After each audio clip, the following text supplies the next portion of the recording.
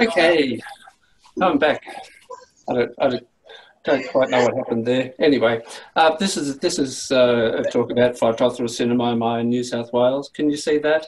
Hopefully, fingers crossed. Yeah, that's fine. Okay, all right. I have no idea what's going on, but anyway, I'll keep going. Um, so Phytophthora cinnamomi in New South Wales is very different to how it behaves in Western Australia. You don't get um, disease fronts. It often picks off uh, plant by plant rather than having uh, mass uh, areas of dieback. And for that reason, uh, people for a long time thought it was native and um, and really didn't do very much about it at all. Uh, but it does it does like to eat xanthorrhoeas, and it does uh, affect the habitat of some uh, threatened small mammals like the smoky mouse, and there are one or two species that are sort of at risk of extinction from it.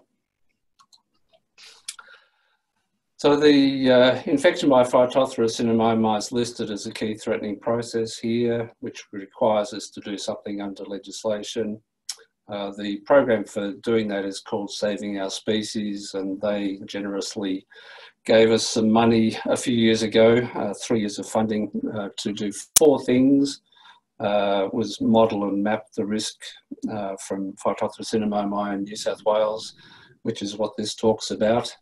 Um, also, we're evaluating some of the current hygiene approaches, which is the fun part of the project, and uh, that'll be finished in November.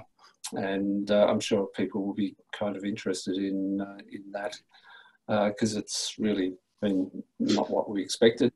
Uh, we're also testing a, a range of threatened species for susceptibility and uh, the very susceptible ones we're testing for phosphite um, use.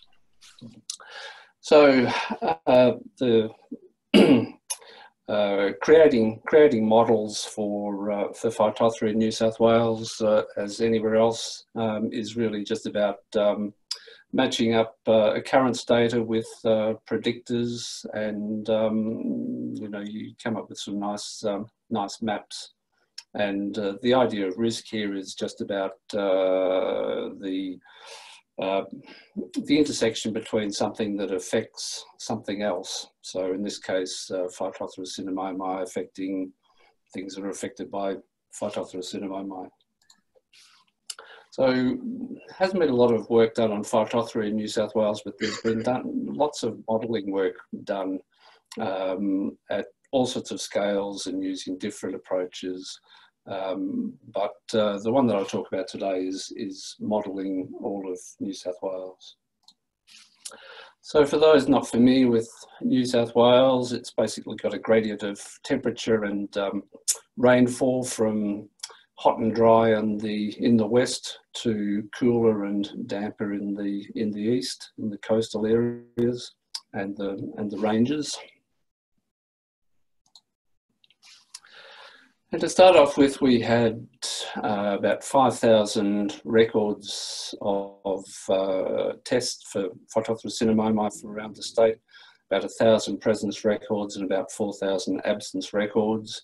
And you can see that the Sydney area in the middle there has been sampled to death and, and just about nothing else had been sampled. So the first part of this project was to fill in some of the gaps and uh, we took an additional 457 samples from as many parts of the states um, as possible.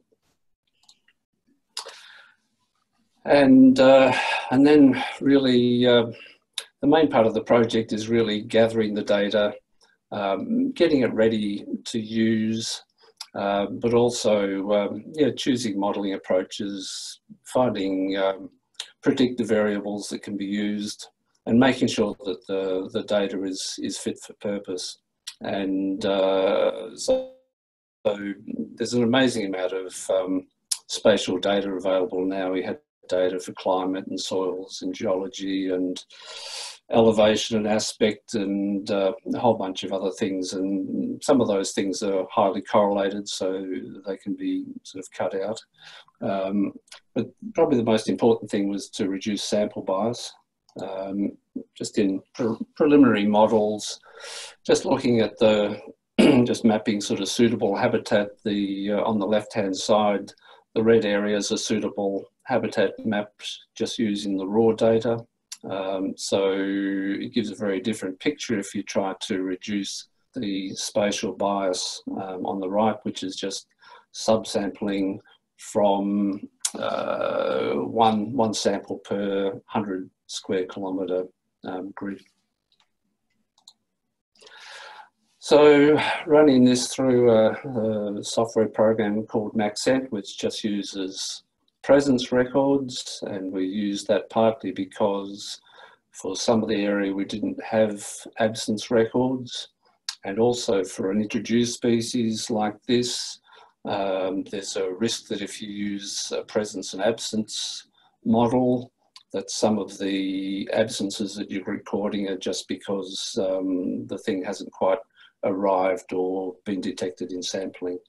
So our model, the, basically the, the white area is, is uh, uh, an area that we don't have any samples in.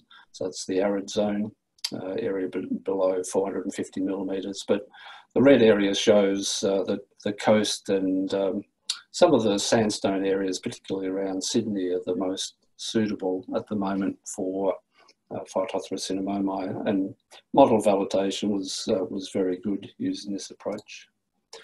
So the best predictors um, uh, for the distribution were temperature annual range, um, maximum temperature of the warmest month, so months between 21 degrees and 29 degrees were highly suitable for Phytophthora and the more rainfall the better.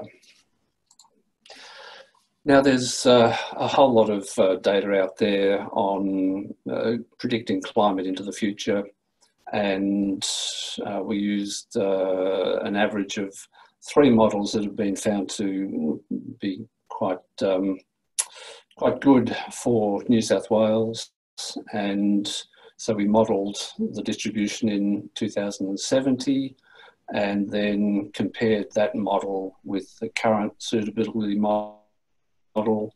So in this uh, map, the red areas are basically areas that are going to become more suitable for Phytophthora cinnamomi, and the blue areas are um, areas that are likely to become less suitable for Phytophthora cinnamomi. So it seems to be moving um, up in elevation um, and south, um, so becoming less suitable in the north.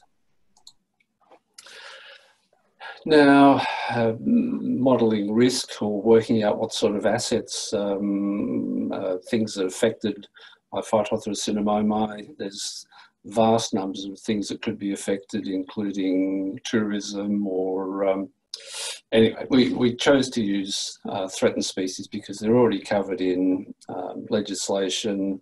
Uh, they're already regarded as being at risk for other reasons and uh, we, for some of them, we knew something about whether they're susceptible or not. So we again modelled basically where threatened species are likely to occur, and that model was weighted by their likely susceptibility. And uh, so this is the model that uh, comes out of that. Um, and you can see that it, in some ways, that it uh, it reflects the um, uh, the, the, habitat suitability for Phytophthora. And in some ways, that's kind of not surprising because we don't know anything about the susceptibility of arid species, for instance. And uh, there are also more threatened species records in the in the east than in the west. But anyway, that's uh, that's what we came up with for with that.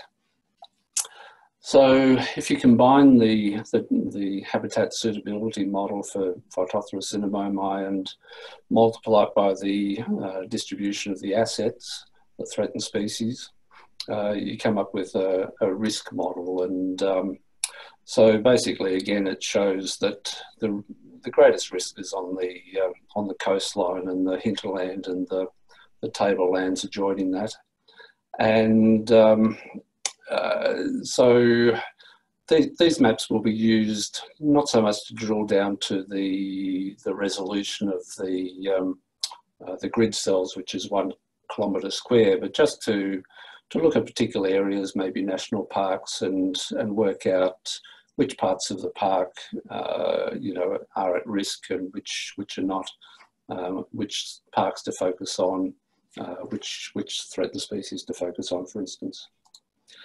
And again, we can we can project some of this into the future to look at uh, how this is going to change. And risk seems to be even more sort of uh, focused in the future. That um, it really is going to be on the, the southern Blue Mountains and the um, the Great Dividing Range um, to the south, uh, and some of the areas maybe this is good news for some of the areas of the north. They, they're going to be at, at less risk in the future. So that's, um, that's short and sweet and finished.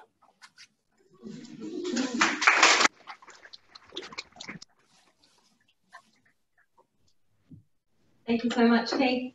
Uh, and if you can hang around for another 15 minutes until sure. our presentation, we questions for you.